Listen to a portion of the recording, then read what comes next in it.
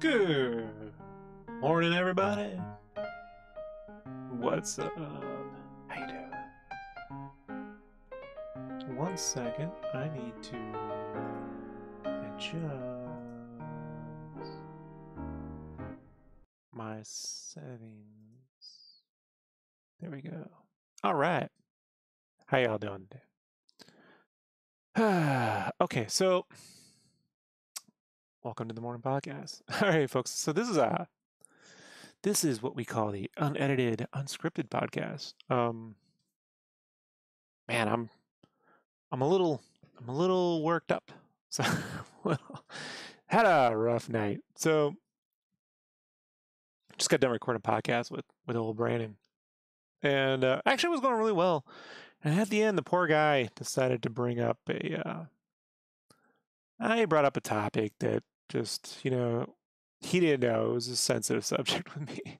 So like I, I can't talk about what I worked on uh, the last past year or so because of NDAs and stuff. Um, but I can talk to you about how I feel after working on some stuff. Um, worked on some stuff, and I came away from some projects, stuff you guys don't. If you think you know, you don't know. So if you're like, it must be this thing, it isn't you just don't know. So, um, but I came away working on some projects feeling pretty. How do I say this? Lost would not be the word. So I, I, I see this is tough. It's tough for me to say because to say it sometimes, sometimes when you say things, you know, you give them power. But the gist of it was that Brandon had brought up why I don't have more merch up or t-shirts and stuff with little characters and designs, given that I spent 10 years making licensed t-shirts, right? And I've sold millions of dollars worth of t-shirts. And the short, really polite, respectful answer to that is that uh, the kinds of t-shirts that, t-shirts that sell on the internet aren't really the same that sell in a department store. They tend to favor either really uh, kitschy ideas, flowery artistic things, or bootleg parody shirts. you know, like Calvin and Hobbes, but it's like Han Solo. Um, I, I, never did any of that stuff. The stuff I did in licensed apparel was I took legitimate licenses.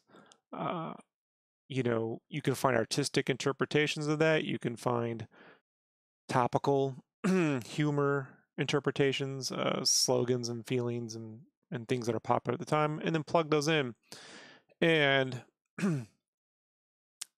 people generally are already a fan of that property, and then does that design or idea within that property speak to that person? That doesn't translate to me putting like uh, like a coffee cup on a shirt, you know, that's like a monster with like brains in it and zombies coming out. It could be cool, but it doesn't quite translate. So um, to do that sort of thing, I, I have to like spend time figuring out which way I would go with it and build it all out.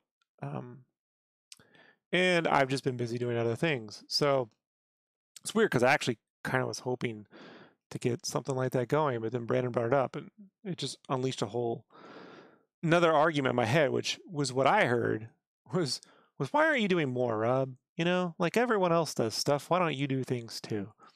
You know, and if you just did these things, you would be internet famous and rich and you'd have hundreds of thousands of followers and people would just they they you'd get you'd get you know 500 people to back patreons and you could teach them and you could like i i wish those arguments those those thoughts were true but um, they are and they aren't for some people they are true you might follow an artist out there that has an unbelievable youtube following and a patreon following and they're always doing great artistic stuff and they're making big paintings and they're going to art shows before COVID. Um, they may be doing all that. Uh, I've done all of that, and I can assure you, uh, it's gone nowhere. um, I'll give you an example, folks. The saucy stuff, the watercolor, the splat, that is like me.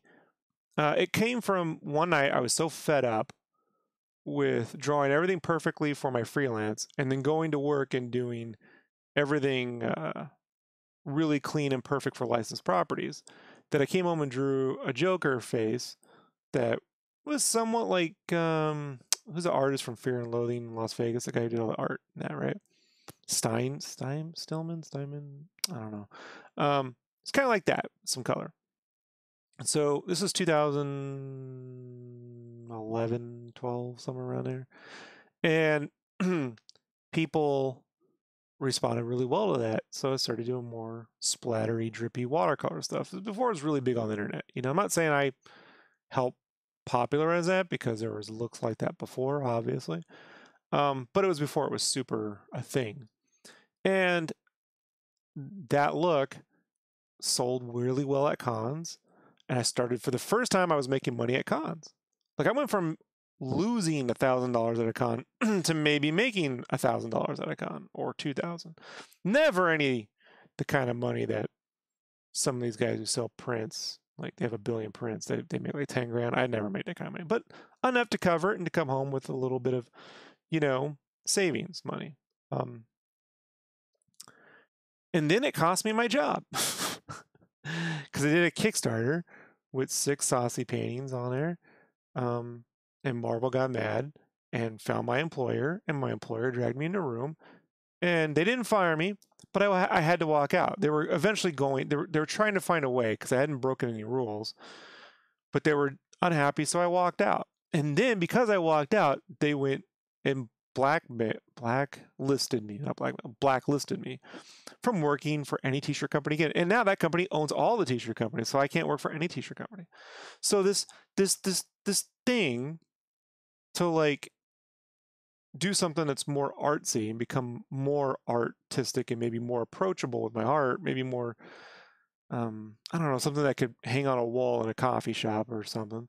Uh, cost me my entire career. You know? Uh, so I get really, really um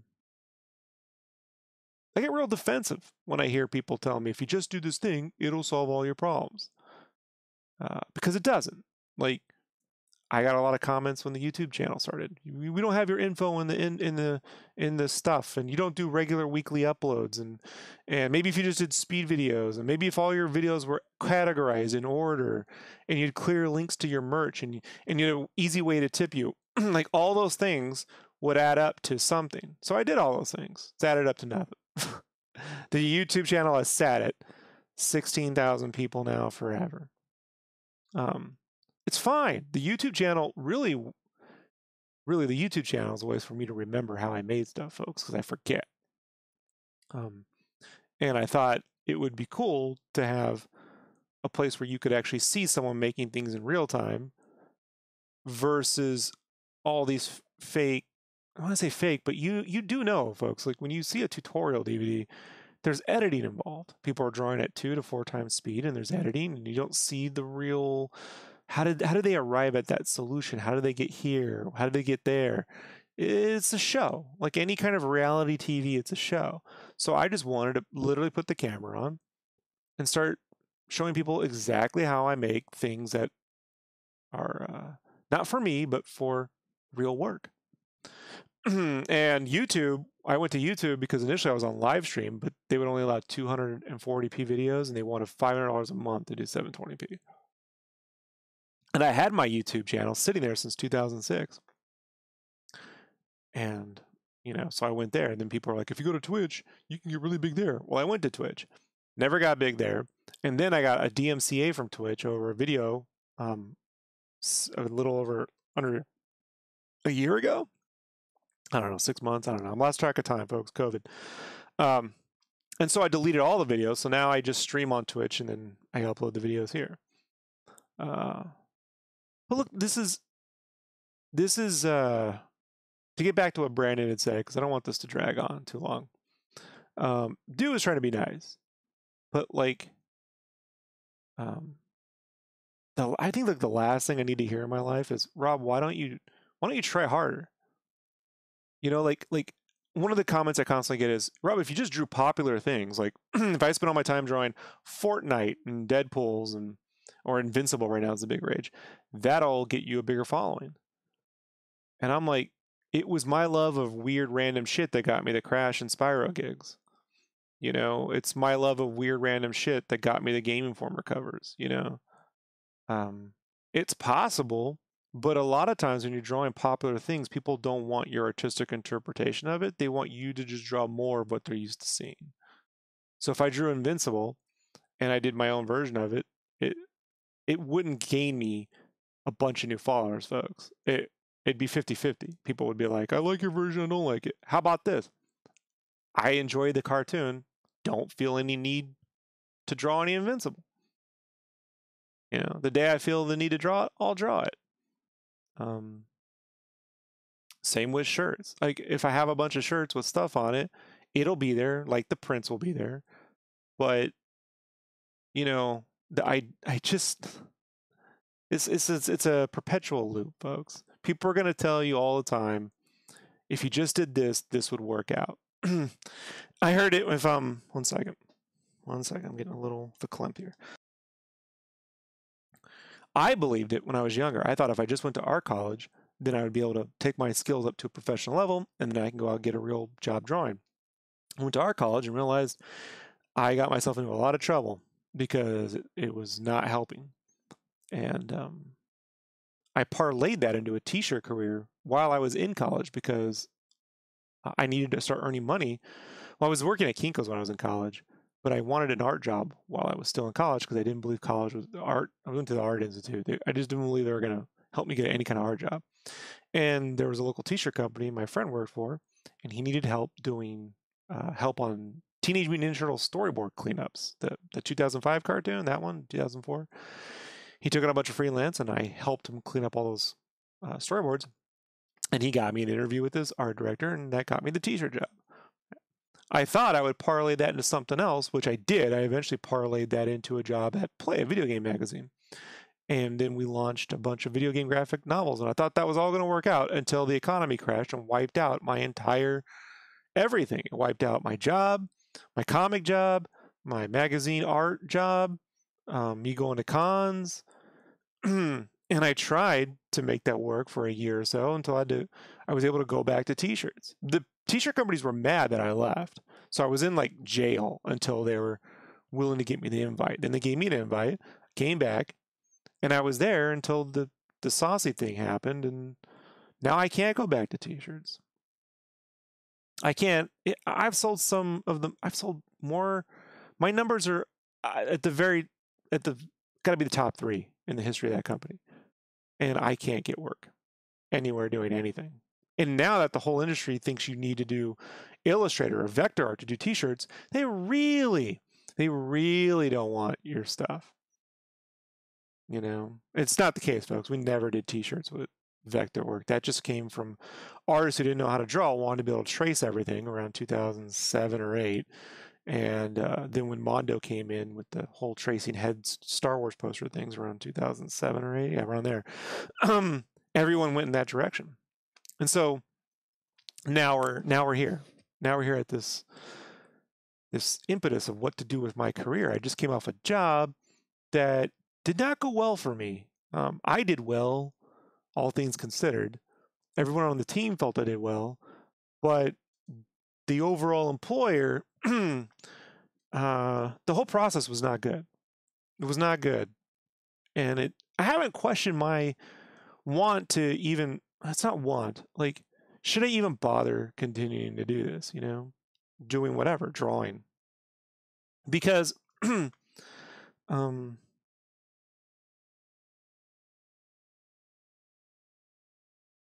what's the word I'm thinking of?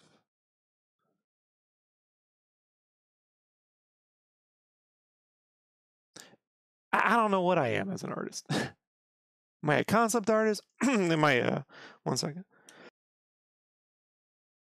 Man, folks. Um, sorry. am I a cartoonist? I don't know what I am. You know, I'm trying to build that up. But the last job gave me a giant identity crisis. And I'm getting through it, but it's not easy.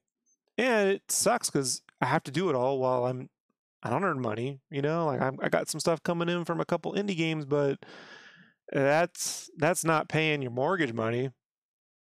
So it's never easy, folks. It's never easy.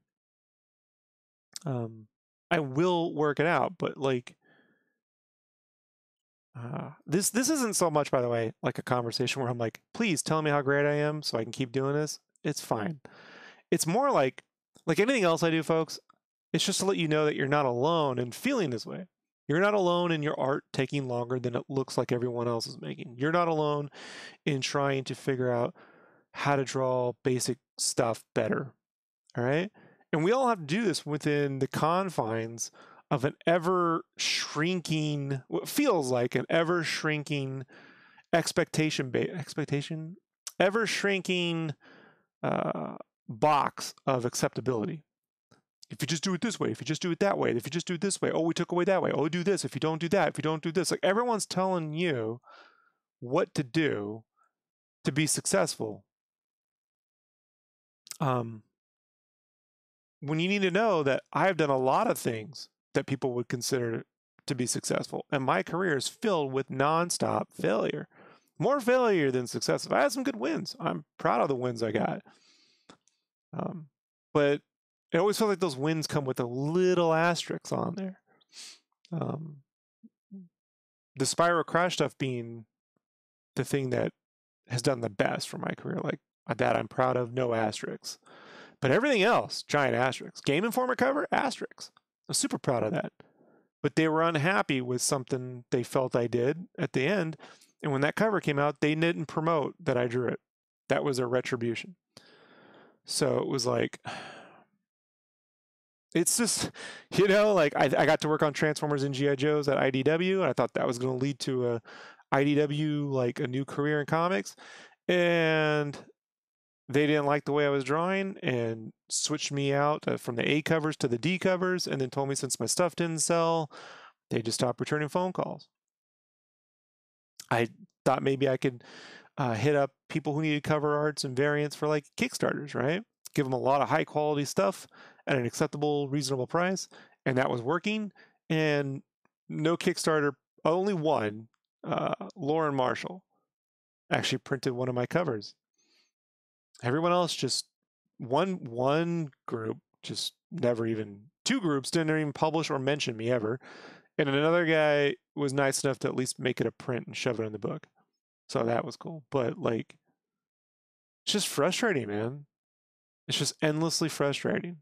So it's like i have to now you know like my whole thing is i've been regrouping you know, we got a nice win with Berserk Boy this week, and I've been like, okay, let me do this with that. I'm going to do this, and I can't tell you what it is yet because if I announce it, you know, everyone will be asking or wondering for the next six months. And but I have some stuff, and then right at the you know nth moment, here's good old Brandon ask me, how come you don't do more of this stuff? And the other component to that would be like I love Brandon, man. I got a lot of love for him. He's he's my best friend right now, and he has been for a long time. You know, I consider him like family, but it's like my job should be making things, and Brandon's job should kind of be like helping to promote it. And what ends up happening is Brandon just wants me to do all the promotion while he's in his room drawing, and I can give him art tips. So now I spend all the time doing videos and editing and thumbnails and podcast planning and all this stuff, and he's just sitting there drawing all day. Shouldn't I be the one making the stuff, right? I mean, no offense to Brandon's stuff, but like we had this conversation, so it's just frustrating. but um, again, no easy answers. Just tomorrow I wake up and move forward on the next thing, on the next thing. But I won't lie, folks. I wish I could tell you exactly what happened on some gigs. I wish I could tell you. God, I wish I could. Years from now, I probably can, but I just can't risk any more crazy setbacks. But this one was tough, man. Like this one was really tough. I've never questioned my the I the, t- the closest I've come to this was twice in my life. I have questioned this twice. So twice this is happening. Once in 2012 when the Game Fan 2010 when a thing didn't work out and I went back to t-shirts. Right before I went back to t-shirts, I thought maybe I won't do any art. I'll just go back to Kinko's or something, but I went back to t-shirts and then I thought, but this is just what I'll do. I'll just do t-shirts and I'm just going to stay away from the internet. And then Kickstarter happened. And Kickstarter, I was able to see that, oh, wow, maybe I can conjure up my ideas now and just ship them directly to people the way I always dreamt it to be. Now that tanked my whole career. And then before that was, again, art college. Art college made me not ever want to draw again. You know, it really did. It's constantly being told to do less, folks. I'm always being told to do less. Do less. You do too much. If you don't try so much, if you you know when you do less, that's what we really like. Um, I've been hearing that from art directors my whole life, like in t-shirts. You know, just you take it too far, just that far right there. And then um, Josh used to tell me that too. And so this is why when I did the 2013 Kickstarter with all the sketches, there's a bunch of like they're super angular and drawn really fast. And people were like, some of the comments I was getting at the time fan, from the fans were like, "This looks rushed." But I was like, no, it's good enough. People just love it, man. They just love everything you do. And then you end up becoming a worse artist, producing a ton of bull stuff, man. Just a bunch of bull crap. And um, and then when I get into games, you know, a lot of the times I was being told, do less, do less, do less, do less. And I'm like, look, maybe they're right. I'll do less. Doesn't help. Because then they're like, you're not doing enough. Why don't you present, present better ideas? Then they pick the other artists. And the other artists, you know, they're trying, they're doing their best. Um, some of them just magically spit out awesomeness. Guys like me mm, takes more work. It takes work for me, folks. Like I I never I don't know how many times I can iterate this. I never expected to be able to crawl my way out of the uh, of the, the the crap hole I grew up in to become an artist um, for a living ever, let alone work on games.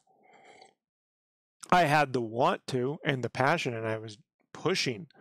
But in my pushing, I also pushed almost everyone away from girlfriends, uh, women I, I should, I, you know, I'd wanted sincerely to marry at one point, and pushed everyone away because I just couldn't deal with handling multiple things. I could just focus on the art and survival. You know, like the art is hard enough for me. And so when I got, you know, my the people that I I, I respect and love and care about telling me, you know, almost inadvertently reaffirming my worst fears about myself that I just haven't done enough. Um, you know what I'm saying? Is like, yeah, you know, uh, I feel I feel better knowing that had this happened 10 years ago, I would have been raging. Um, I went on a rant, but not anger, just like, like what, what more can I do? Why doesn't, you know, show me? I, I need, you know, if people close to me want to tell me to do something better, like I had this exact conversation with Brandon. He was like, this so and so does this like this. And then in the same breath, he was like, I've tried to help you with things, but you want them done at a professional level. And so then I have to go, yeah, that guy you want me to be like, he's doing them at a professional level. So you, you expect me to do things at a professional level, but you are unwilling to do the work to get things to a professional level. And we all have to have that gut check on ourselves. That's not like, I don't even think you realize that. Um, you got to have that gut check in yourself too. Are you demanding movies like Star Wars and MCU things and whatever it is you you know you're critical of? Are you demanding the things you're critical critical of to do things that you yourself are unwilling to do when in positions of creative authority? Or creative, yeah, creative authority. because I push myself harder than I ever have with this last gig that I will one day get to talk about. Um, and it was for like nothing, like for sketches. They didn't even, they weren't, I wasn't allowed to do color roughies or anything like how I do. I had to do things the way they do things. They had to look the way they're used to seeing it. I had to think like they would think. And then I was criticized for not thinking creatively or presenting artwork that is inspirational. And I spent five weeks on like one sketch with every line being torn apart and critiqued. And at the very end of it, uh, you're fired. Not really, but like you know, we won't renew your contract. Is the way they do it. What's it for? What's it for? What's that all about? Well, it's just one company. Yeah, but what if it's what if it's a company you always wanted to work with? What if it's your hero? What do you love more than what what is the thing you look up to the most ever? And imagine if that thing told you you're not good enough. Even though you not only were doing your best, but doing better than a lot of the people around you. And they're just like, everyone's confused. You know, like it's like trying to tell someone, hey, it's going to be okay. Like, you know, you're going to be okay, but it doesn't help. You still got to deal with the thoughts in your head, right? I'm fortunate that my thoughts in my head just lead to like, I know I'm just, I never want to do this again. And then I give it, you know, a while and then I come back my thoughts are never dark thoughts. Like I'm, I'm very fortunate that I don't have that problem too. I'm extremely sympathetic to people who do, because my mother had those kinds of thoughts, and um, of my extended family. But I don't have those kinds of thoughts. I just have like the I'm every I'm worthless comment I ever got from a high from a middle school bully or my parents. You know, those are the thoughts I, and they won't leave me. You know, so uh, I'll get through it, folks. This, this is what this is all for. It's just it's just so that we know we're not alone in this, right? You you've gone through this. You you know, pros are going through this. Everyone's going through this. We're all human, and Lord knows, you know, the world needs more empathy, more more humanity, less. You know, I'm so tough, I'm invincible nonsense. You know. So, um, yeah, that's it, folks. That's that's the rant. I gotta I gotta get to it. Got a lot of stuff to do today. So thanks for hanging out. Um, please, if you get a chance, give me a thumbs up. you know, leave a comment. Uh, really, the folks, the reason why is because it just encourages YouTube to share the channel. So if you do those things, YouTube, the algorithm will share the channel. That's it. That's what it helps for. Um, don't worry about you know, Brandon's fine. We're all good. We're buddies. We got. I'm gonna post some stuff up here soon enough. Every everything's good, but uh, I wasn't gonna be able to move on with my day without getting this stuff out of my head. Know how that goes? That's how it goes. So, all right, everybody. Um, I'm out here. You take care. Peace.